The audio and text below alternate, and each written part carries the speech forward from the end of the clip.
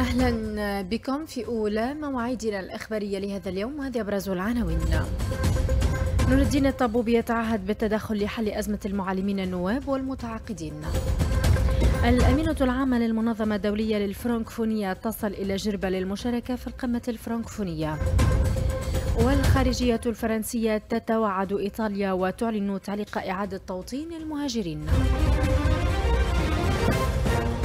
أهلا بكم في التفاصيل. أكدت وزارة الصحة إثر تسجيل تزايد في عدد الإصابات بمرض الإسهال بجرثومة شيغيلا شديد المقاومة في الفترة الأخيرة خاصة لدى الأطفال على ضرورة الالتزام بالإجراءات الوقائية للحد من تفشي العدوى بين أفراد المجتمع والتي تتمثل على وجه الخصوص في غسل اليدين بالماء والصابون باستمرار وخاصة قبل أعداد الأكل وقبل وبعد الأكل وبعد استعمال المجموعة الصحية وبعد تغيير حفاضات الأطفال مع الحرص على تقليم الأظافر ونظافتها وتنظيف وتطهير المجموعة الصحية بشكل جيد قبل وبعد الاستحمام.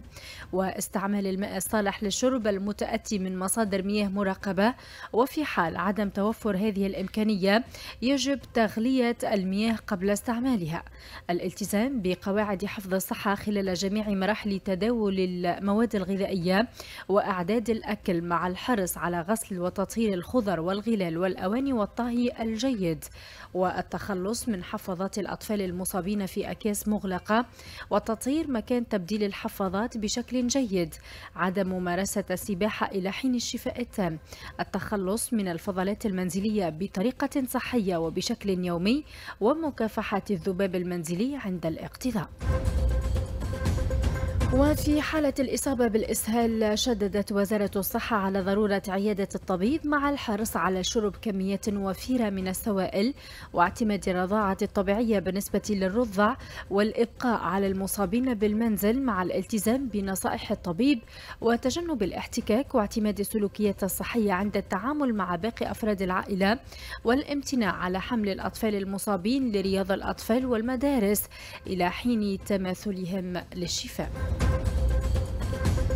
في موضوع آخر وعد الأمين العام للاتحاد العام التونسي للشغل نور الدين طبوبي أمس بالتدخل لدى الجهات المسؤولة من أجل تقريب وجهات النظر وحل الأزمة الناتجة عن فشل المفاوضات بين وزارة التربية والجامعة العامة للتعليم الأساسي بخصوص المعلمين النواب والمتعاقدين الذين يقاطعون التدريس منذ بداية السنة الدراسية الحالية وفق ما أكده الكاتب العام للجامعة نبيل الهواشي. وبين الهواشي في أعقاب لقاء جمع أعضاء المكتب التنفيذي للاتحاد بأعضاء الجامعة أن الحلول التي سيتم التوصل إليها من خلال هذه التدخلات سيتم عرضها على الهيئة الإدارية التي من المقرر انعقادها يوم الخامس عشر من نوفمبر الحالي. دعا وزير الشؤون الدينية الإطارات الدينية إلى الوقوف على نفس المسافة من كل المترشحين للانتخابات التشريعية القادمة وعدم الانخراط في الدعاية وتجنب توظيف المساجد بأي شكل من الأشكال في الشأن السياسي حتى تظل عنصر تجميع لا تفريق على حد قوله. وأعلن الوزير أمس بمناسبة زيارة عمل إلى ولاية بيجا أن التسجيل لأداء فريضة الحج سينطلق يوم الثامن عشر من نوفمبر ويتواصل حتى الثامن عشر من ديسمبر المقبل عن طريق الرابط المدرج بالموقع الرسمي للوزارة مضيفا أنه سيتم إصدار وثيقة توجيهية لضبط كل التفاصيل على ضوء المستجدات التي قال إن جزءا منها يرتبط بالجانب التونسي والجزء الآخر بالجانب السعودي. حلت مساء أمس بمطار جربة جرجيس الدولي الأمينة العامة للمنظمة الدولية للفرنكفونية لويزا موشيكي وابو بمناسبة مشاركتها في القمة الفرنكفونية التي سيتم تنظيمها يومي التاسع عشر والعشرين من نوفمبر بجزيرة جربة وكان في استقبال الأمينة العامة وزير السياحة محمد المعز بالحسين بمعية ولي مدنين سعيد بن زايد حيث أطلع بالمناسبة على آخر الاستعدادات لتنظيم القمة. مؤكدا أن كل شيء جاهز لتنظيم هذا الحدث العالمي. من جهتها عبرت الأمينة العامة للمنظمة الدولية للفرنكفونية عن اعتزازها بتواجدها في تونس مؤكدة أن هذه الدورة من القمة ستشهد نجاحا كبيرا بفضل المجهودات المبذولة من قبل جميع الأطراف والهياكل في تونس وكذلك ستشهد مشاركة عدد هام من وفود البلدان الفرنكفونية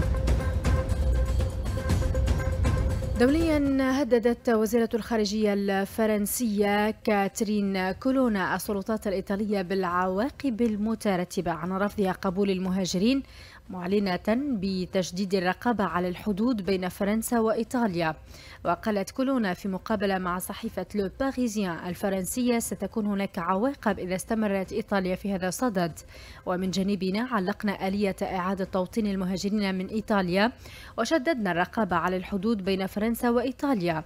وذكرت كولونا أنه يجب تذكير روما بواجبها في إظهار الإنسانية.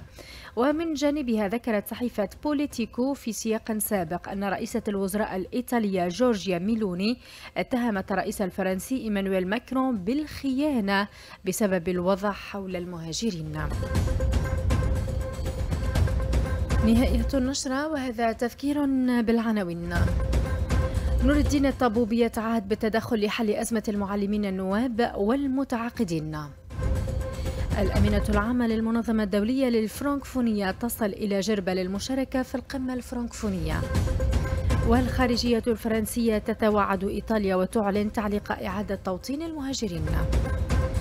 كانت هذه نشرة الأخبار من إذاعة الحياة فهم لكم أجمل تحيات سام حمدي في أمان الله.